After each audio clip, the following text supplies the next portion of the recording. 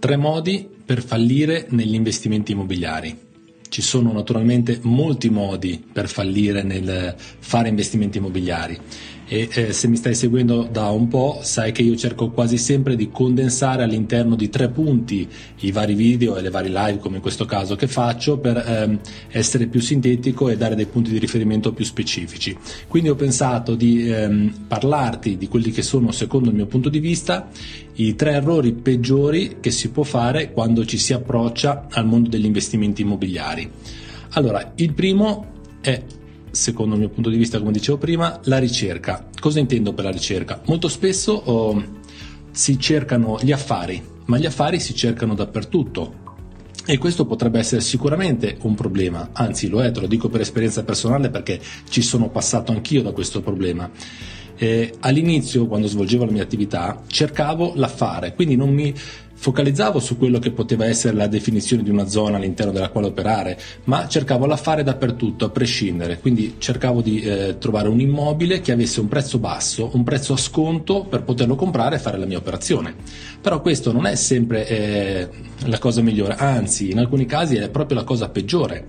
Perché se tu cerchi soltanto l'affare, eh, ti focalizzi soltanto sul trovare qualcosa che abbia un prezzo basso, ma non è detto che quell'immobile poi abbia le potenzialità per essere rivenduto e per farci un utile. Molto spesso vedo uh, soprattutto chi si approccia a, mm, da poco a questo settore, magari che trova, un, trova un'operazione a prezzo basso, ok hai comprato a sconto, hai comprato a un prezzo molto basso, ma poi è un immobile che non riesce a vendere perché in quella zona magari non c'è richiesta, magari non ci sono volumi. Quindi è molto importante prima di eh, focalizzarsi sull'affare essere a conoscenza di quello che è la zona all'interno della quale andrai a operare ed essere a conoscenza del target di vendita al quale andrai a proporre l'immobile, perché non dimentichiamoci che noi, soprattutto chi fa proprio trading, quindi chi compra e ristruttura per vendere, è necessario che sappia esattamente a chi andrà a vendere l'immobile prima ancora di confezionare l'operazione. Questo diventa molto più semplice. Quindi uno dei eh, punti che ritengo possa essere eh, il più oh, difficile da poter gestire è proprio quello di cercare dappertutto, ma siamo un po' spinti all'inizio proprio nel farlo, perché magari andiamo nelle zone più appetibili, non troviamo nulla e ci spostiamo in zone meno oh, interessanti per trovare l'affare. È vero che magari lì puoi trovare l'affare, ma poi non riesci più a gestirlo. Quindi è molto importante fare una selezione a monte e non cercare dappertutto, ma cercare esclusivamente nei posti dove sappiamo che possiamo poi rivendere, quindi dove ci sono ehm, volumi e, e, c'è interesse per acquistare in quelle zone. Intanto vedo un po' di persone, saluto eh, Salvatore Fortuna, Elena Minassian, Marco Giorgi, Andrea Di Nanno, ragazzi, buona serata a tutti. Allora, il secondo punto da evitare, la seconda eh, cosa che secondo il mio punto di vista è veramente sbagliata, è quella relativa al prezzo. Cosa intendo per il prezzo? Intendo il definire esattamente qual è il prezzo di rivendita dell'immobile. Qui cascano tantissimi eh, aspiranti investitori immobiliari perché? Perché si fidano di quello che magari gli può dire l'agente immobiliare, di quello che hanno sentito dire da altri operatori, ma non funziona così. Questa è l'unica attività, secondo il mio punto di vista, che non si può assolutamente delegare a nessuno. Questa è l'attività che deve fare in prima persona l'investitore immobiliare. Quindi sarai tu a dover definire e decidere esattamente quale sarà il prezzo corretto di rivendita. L'agente immobiliare sicuramente ti potrà dare una mano, ti potrà dare degli spunti, ma la responsabilità nell'individuare il prezzo di rivendita è esclusivamente tua. Tieni presente che eh, gli agenti immobiliari, alcuni sono abituati a lavorare con gli investitori e sanno quali sono i parametri che servono per poter sviluppare un'operazione, altri che magari non hanno esperienza di eh, collaborazione con gli investitori immobiliari, magari ti danno dei parametri più orientati sulla compravendita classica perché magari non sono proprio a conoscenza di tutti quelli che sono i passaggi di tutti quelli che sono i costi eh, ai quali dobbiamo andare incontro per poter sviluppare l'operazione.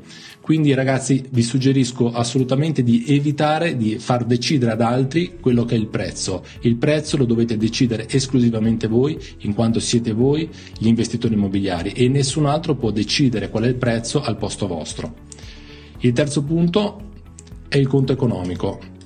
Anche qui spesso, molto spesso, vedo delle situazioni del tipo l'aspirante investitore immobiliare diciamo, con la voglia di fare operazione e magari non ha trovato ancora niente di interessante, va a creare un conto economico anziché conservativo come dovrebbe essere, quindi se hai una spesa di 5.000 per eh, diciamo, il, mm, l'elettricista, magari metti 6.000, se hai una spesa di un certo tipo, cerca sempre di gonfiare i prezzi, soprattutto se non hai esperienza.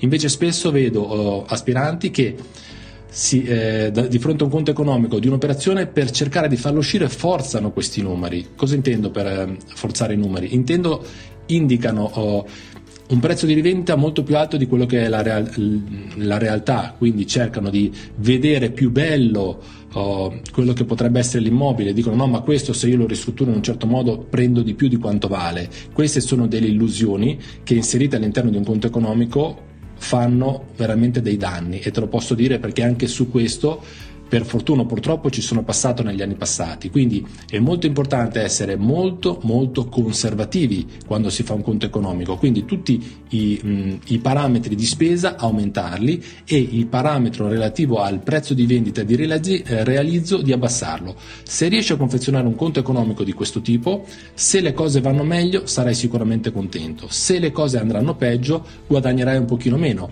ma se tu hai forzato troppo questi numeri e hai spinto tutto verso l'alto, rischi di non solo non prendere quanto avevi pensato, ma anche di perderci. Quindi questi, secondo il mio punto di vista, sono i tre punti eh, sui quali ragionare eh, di più, sono i tre punti che ti permettono di fare il successo o il fallimento di un'operazione di trading immobiliare.